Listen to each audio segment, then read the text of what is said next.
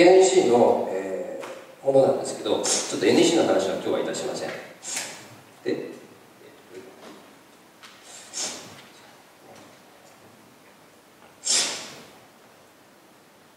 自己紹介なんですけど、えっと、この写真はあの会社で使っていい写真で私ではないですあ受けないです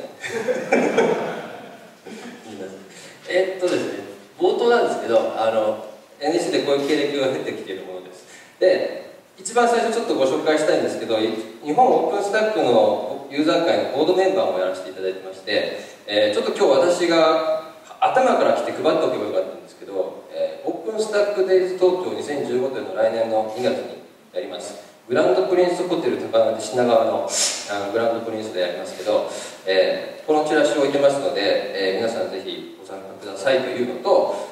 これがグランドプリンスホテル高輪なのはですね、まあ、ご存知の方もいるかと思います。けど来年のオープンスタックサミットつい先週パリで、えー4600人私聞きましたけど参加して行われました。それが来年の秋は東京であります。ということがアナウンスをされました、まあ、私それにいろいろ関わっていたんですけどそのそれが行われるのがこのグランドプリンスの、まあ、高輪新高輪にありますので同じ場所でやるということでございます。よろしくお願いします。で、えー、今日こんなことの話なんですけど実はそのスライあのスライドの数を膨大に用意してしまったの用意してしまったので結構飛ばし飛ばしでいかないと終わらないんですけど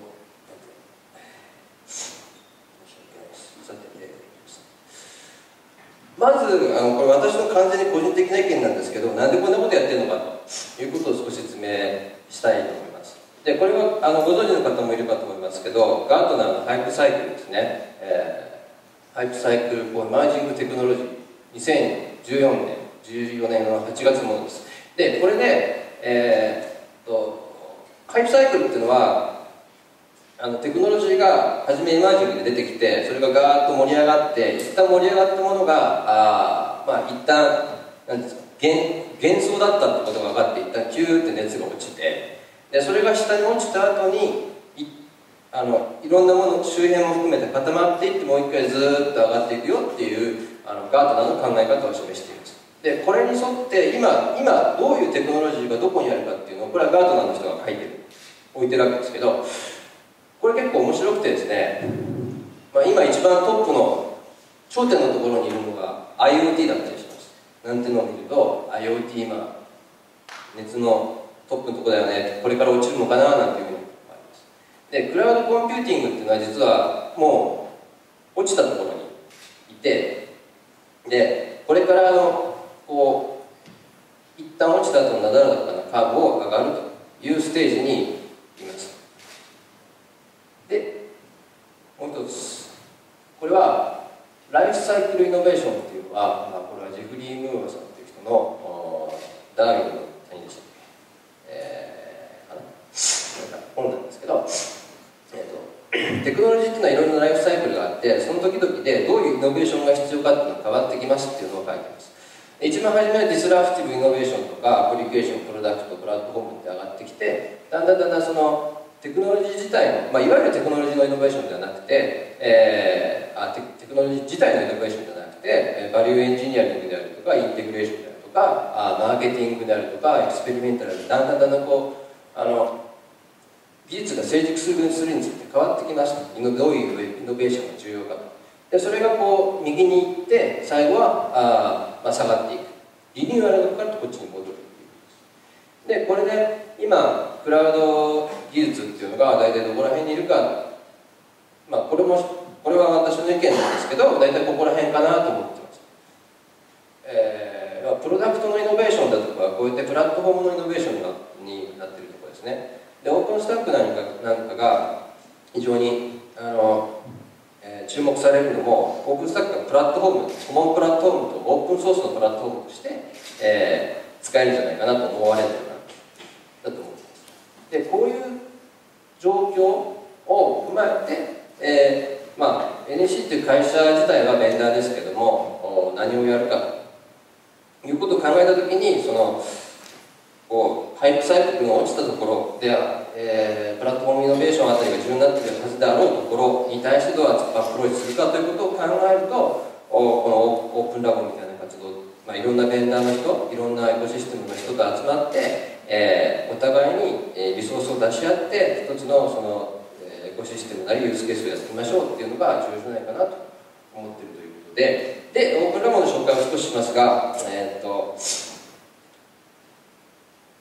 2013年ですね、えー、設立しました社団法人 NPO ってやつですいわゆる。で、えー、沖縄県のうるま市っていうところに、えー、IT 診療パークというのがありまして、えー、そこに、今日構えています。今は大体20人くらいいるんですかね。います、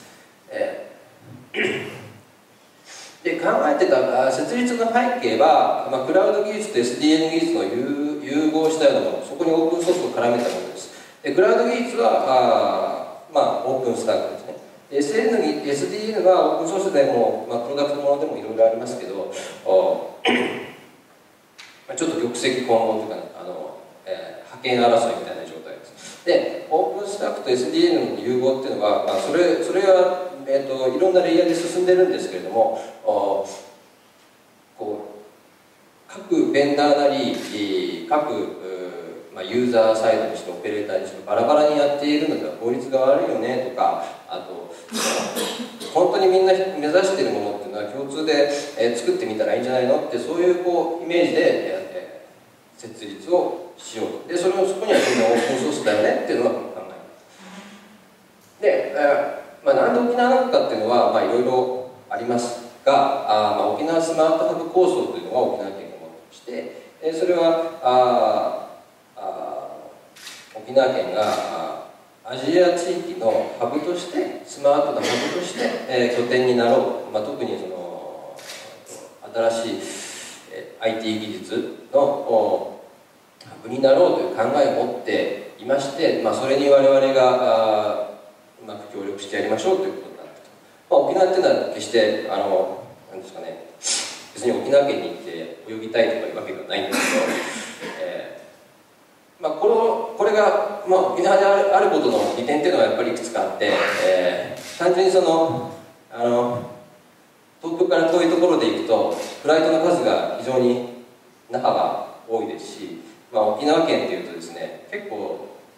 なんだいいんじゃないかと思って出張に行きたいっていう人もいるんですよね。これがあのそのちょっと違うとこだったらどうだったかなとか思ったりもしますけど、まあ、ただだから行きたいってわけじゃなくて、えーまあ、沖縄県っていうものの可能性っていうものをこの沖縄スマートハブ構想の可能性っていうものも大きくあるさてそれで、活動方針これはもうあの時間的に聞いてきますけど、えー、まあ、位置づけですけどマーケットと下、まあ、OSS 開発コミュニティと書いてますがあ、まあ、デベロッパーサイドですね。本当のデベロッパーサイドとマーケットユーザーの間に、えー位置しよう。でそれはあ、まあ、ユースケースであったり検証であったり実装モデル普及促進ってことになるわけですけど、まあ、ちょうどこのマーケットとユーザーの間会社で言えばあ何部門になるんですかね。営業部門であるとかあマーケティング部門とかになると思うんですけどあまあ、そういうもののこう一種そのテクノロジーも持った上でそのものの代替になろう。いろんな会社で集まってそれをやろうっていう考え方。でこれをやるためにここにテストベッドって書いてますけどあちょっとテストベッド、えー、体制これはいろいろプロジェクトを作ってやってみましょう。で会員さんを集めてですね、えー、その会員さんと一緒にいいろいろユースケースなりどういうプロジェクトをやりたいかということを相談してやろうとしてます。で今これぐらい2014年度のまあ正式に動いてるものはアンブラで動いてるものいろいろ実はあるんですけどこれぐらいえー、実はあります。で会員は今3036ですね、まあ、いろんな会社さんに入ってもらって協力してもらっております。あまりあの馴染みのない会社もあると思うんですけど沖縄県の会社さんであったりとかあ,、まあ、あとあんまりあのまあいろいろこう我々の活動っていうものに賛同いただいて参加してもらっている方がいます。でテストベッドなんですけど、えー、こういうことをやるために、えー、まず最初に何をやろうかっていうのを、まあ、初年度とかも結構悶々と考えました。という中でテストベッドっていうのをまず作りましょう。でテストベッドっていうのはあいろんな会そのオープンラボの会員の会社会社の方々であるとか、えー、組織の方々があ使えるもの。で、えー、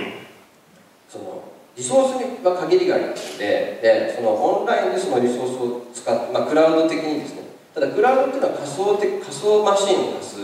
基本的にはバーチャルマシンを貸す貸し出すっていうのがクラウドのモデルなんですけどここで考えたテストベッドっていうのはあ、まあ、ベアメタルのリソースを貸し出す。かつ SDN のネットワークの検証がしたいので、えー、ネットワークのスイッチネットワークのハードウェアもベアメタルで貸し出すっていうような形を取ろうとしました。それの説明があるんですけど、え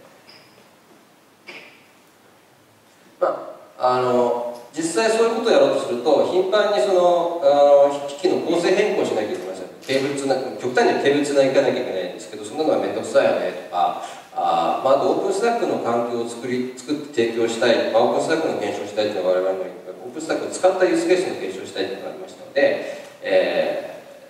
ー、そういう環境をこう作りたいわけですけどインストールが結構面倒か面倒くさかったりする。で、まあ、ネットワークの構築も面倒くさいよねっていうことで、えー、そのリソースをこう自分たちで稼ぐようにしましょう。それからあいろんなことをとにかく自動化していきましょう。自動で、えー、構成を変更して自動でオープンスタックをインストールして自動でソフトをインストールしてでそれで貸し出せるようにして時間があ貸し出す時間が終わったらそれをこうえーとまあ、バックアップしたりしてまた元に戻せるようにとかいろんなことを考えて、えー、作りました。というのがコンテストベッドです。で簡単に、まあ、模式的に説明しますとまずうん、まあ、この右左側にですねいろんなリソースが用意されてますこれがハードウェアのリソースだと思ってください。でそこから選択リソースをですねこういうふうに選んでいます。でこの選ぶのはまあ、今私たちが使ってるのはあの合理システム社っていうところのソフトウェアを使ってるんですけどこのポータル的にはポータルの画面では、まあ、こういうドラッグアンドロップで持ってくれる。でこの間の配線ですねトポロジーっていうのをこの上で書くんですけどそれをオープンフローのパッチパネルっていうもので自動化をしています。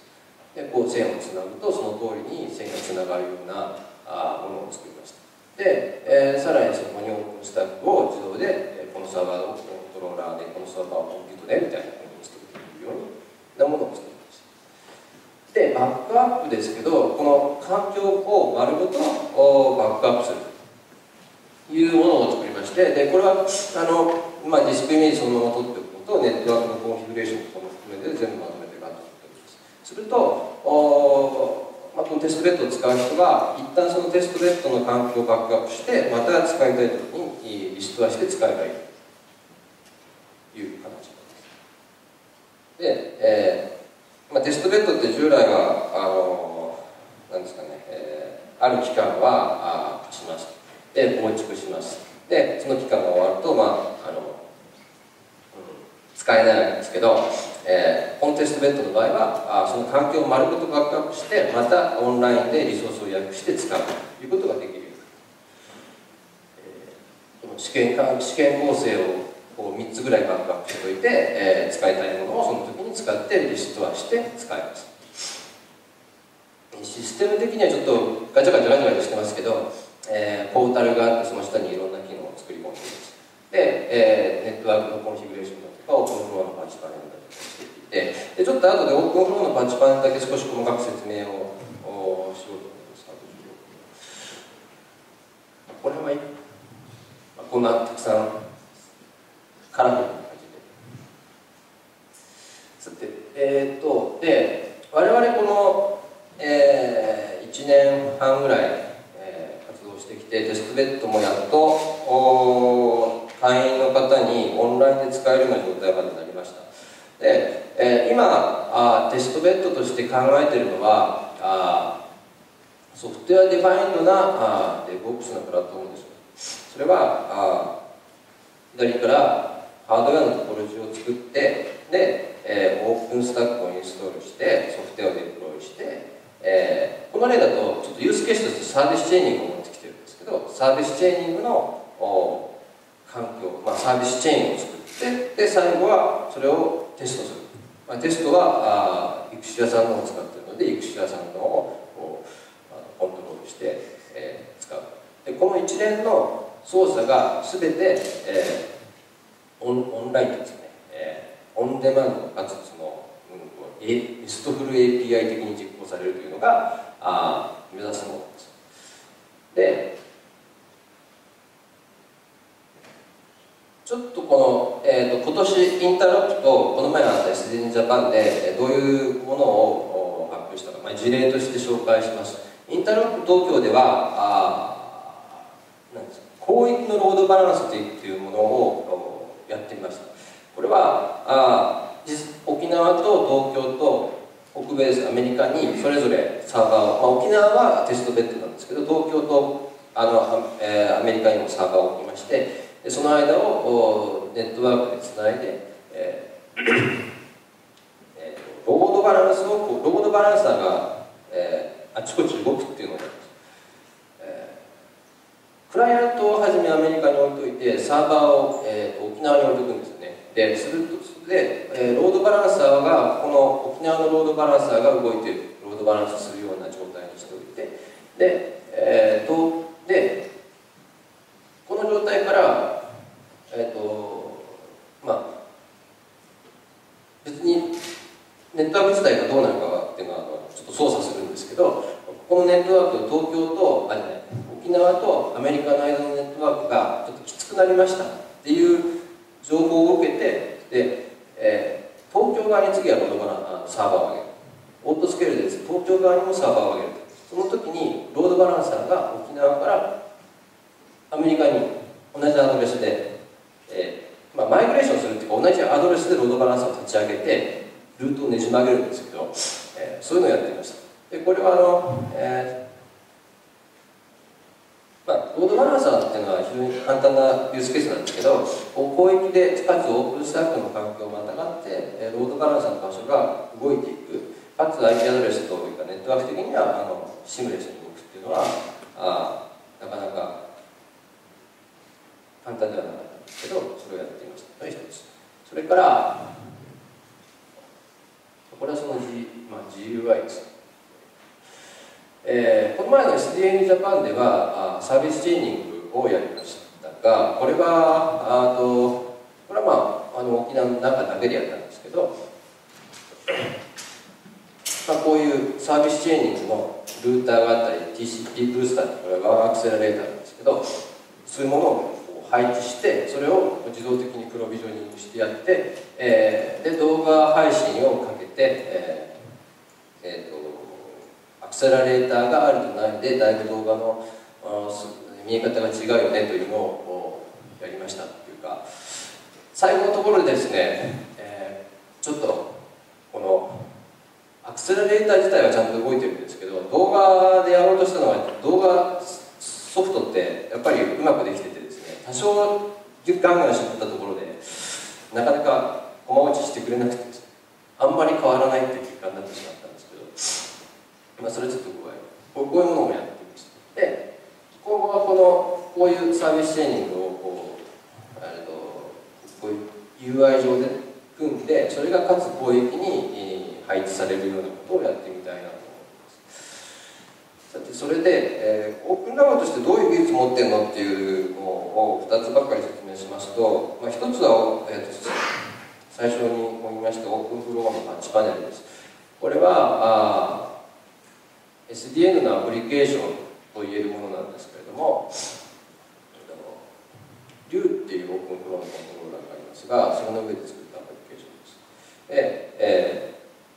ーえー、タッチパネルをオープンフロースイッチで実現するものなんですけどお、まあ、要はどこのポートとどあどこのここの上の四角がオープンフローパンチパネルで下はいろんなスイッチとサーバーがつながっています。でこのサーバーとこのスイッチをつなげたいよハードウェア的につなげたいよっていうトポロジーを作ったらあ、まあ、オープンフローにつなげてあげる。まあ、極めてシンプルはシンプルなんですけど、えー、これをスイッチを EF スパイのネットワークで組んで多段のスイッチでできるようにしてます。で今スパイン4台 EF が48台っていう構性が最大構成なんですけど、まあ、そこまでスイッチないんでそこまでないんですけど最大で1920ポまでいけます。で、えー、左側にあ右側にちょっと GUI をつけますがあまあちょっと面白いような GUI をつけてこれくるくるくるって回ってどのどのどことどこをつなぐってやると実際に、えー、設定されるようにもう一つがまあ、これはさっきのサービスチェーニングなんですけどサービスチェーニングはいろんな、えーおまあ、いわゆるオーケストレーターってものがあります。シェフだとかヒートだとかアイスクリだとかサントスだとか、まあ、そういうものを複数抱えられるように今作ってます。で、えーまあ、これはあの、まあ、オープンソースを使っていくっていう我々のポリシーもありますし、まあ、いろいろこのレイヤーで、まあ、製品も実はあるんですけどそういうものを組み入れて比較というかあのどういうものがいいかっていうのをいろいろ検証評価していけることもできるかなと思います。で下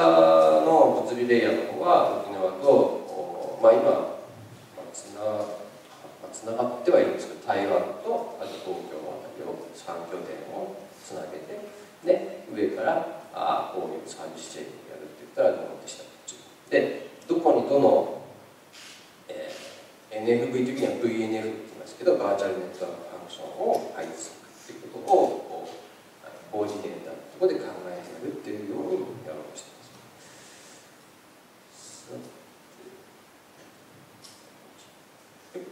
あるんですえ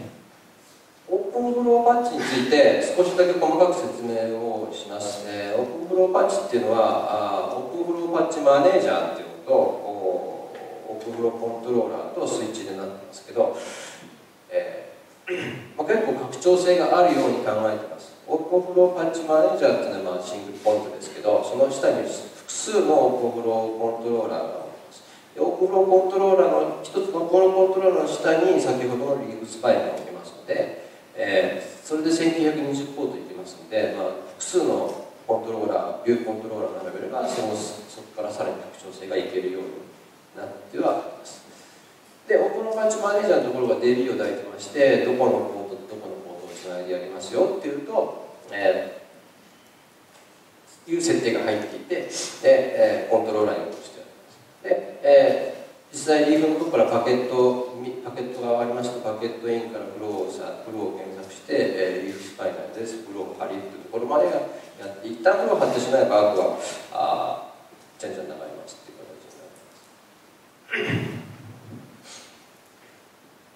ちょっと細かいですけどテーブルのデザインですがまあ複数のポートを経由する場合っていうのはあこっちのこの下の方のこうリーフのスイッチから一旦スパインに上がってこっち側のリーフに落ちるみたいな感じになるわけですけど、えー、ここの間では Mac の書き換えをして、えー、認識するようにしてやってやってます。えーまあ、あのどうしてもハードウェアをつなぐっていうことなので、えー、帯域を確保するように、えー、ちゃんとですねこのえー、 over subs subscription をしないように、え、配置してやるというのがやってます。次がこれ実際もうちょっと細かいんですけどあの実際 MAC テーブルとかどうやって変換してるかってやつですね、まあ、これはあの まあ知りたい人は見てもらえばいいって感じなんですけど、えー、スパイに上がるときにマックアドレスを変換してやってで受けたところでそのマックアドレスを戻してやるっていうテーブルを入れてやって、えー、マスクですさてあとちょっとマックと言いつつ結構余っちゃいましたえー、もう一つあの沖縄本ラボの、えー、活動は一つはそういうテストベッドの活動ともう一つあのて、えー、イベイベントイベント系って言いますか、そのメディケーションっていうのをやってます。それはあハンズオンであるとか、えー、セミナーであるとかあ、まあ、カンファレンスだとかをやってます。で、えー、今年の2014年度のイベントのスケジュールを出してますがあまあこれから行われるものとしては来月の10 10日プログラミングコンテスト11、12に沖縄コンテーゼントになります。でこれはあまあ、我々の沖縄コンラボのイベントとしては一番大きなもので、えーまあ、約400人ぐらいの集客を狙っていますがあ結構あの ONF であるとかオープンスタックファンデーションそれから今年はオープンオープンコンピュートプロジェクトの人とかもいます。で、えー、日日本語英語の同時通訳もかけます。で、えーまあ、あのメインのセッションの他にもオープンスタックのハンズオンであるとかビューとかラボパスのハンズオンを企画してますので、えー、技術者の方にも来ていただけるからあのまあこれをこれを機会にこれを理由にですね、えー、ぜひ多くの方に沖縄に来ていただきたいちょっと今日あのウェブのページとか持ってくればよかったんですけど、えー、ちょっと前持ってこなかったですがもうすでにウェブページできています。プログラムも、えーえっと、ほぼアップされてますので、えー、見ていただいて、えー、来ていただければなと思います。それから来年にはハンズオン SDN のハンズオンであるとかオープンスタッフのハンズオンであるとかセミナーであるとかを予約予定していますまたこれらですねやったものはあ、えー、全てではないですけどネットで見れたりとかもしますあのこう、えー、資料がアップロードされてたりもしますので、えー、ぜひ見ていただきたい特にオープンスタックに関してはですねオープン日本のオープンスタックユーザー会まあ、私もやってますので、えー、全面協力非常に協力をして、えー、いいコンテンツを作ってると思います今度やるハンズオンもです、まあ、あのもともと沖縄あ、まあ、いろいろ試験的なハンズオンみたいなものをやってまして、えー、オープンスタックユーザー会としては新しいところにもいろいろこの場でやっているえー、最後すと、まあ、活動状況とか成果のまとめです、えー、オープンラボとしてはいろいろ先ほどご説明したようなちょっと技術開発的なことからあ人材、まあ、人材育成プログラムですね。国際会議リポートみたいな話を進めてきてます、えー、まあおかげさまでですね、えー、会員さんも徐々に増えてきてます。あと、まあ、協力を実際にあの会員になるというだけではなくてえー、エンジニアを沖縄に送り込んできたりとかですね、えーまあ、こういうプロジェクトをやりたいという提案も徐々に増えてきまして、えーまあ、もともとの狙ったところに少しずつですが近づいているかなと思います、まあ、まだまだなところもあるんですけれどもあと情報発信とか足りないという話もありますけどそこら辺はこう今後ちょっと強化をしていきたいなと思います。えー、グローバルっていう意味では台湾との台湾と沖縄は近いですからあ国際交流で、えー、研研究員の受け入れをやってましたで、まあ、今ちょっとそのチェンジのタイミングで、えー、変わっていくんですけれども引き続き継続して台湾との交流っていうのをやっています台湾もその SDN には非常に関心と可能性を感じてます彼らはそのハードウェアの工場をたくさん持ってますからホワイトボックス的なエレメントも非常に興味をえー、で沖縄県 IT 産業振興ですけど、まあ、あのオープンデイズ去年もやりまして今年もやりますがああと国際交流会ですね。NFV のやつに、えー、イベントなのかを少し、えー、事務局をやらせていただいたりしてますし、えー、徐々に徐々にですけど国内外含めオープン沖縄オープンラボってものがあるよねっていうのが少しずつ認識されてるかなまあ、まだこれからが重要だと思いますけども徐々に広がってきてるかなと思います。えー、そういったですかね。で、えー、まあオープンデイズの話がありますので、えー、特に、来月のオープンデイズとあと最初にも言いましたがオープンスタックデイズ投資ですねこちらの方をよろしくお願いしますということで終わらせていただきます。ご清聴ありがとうございました。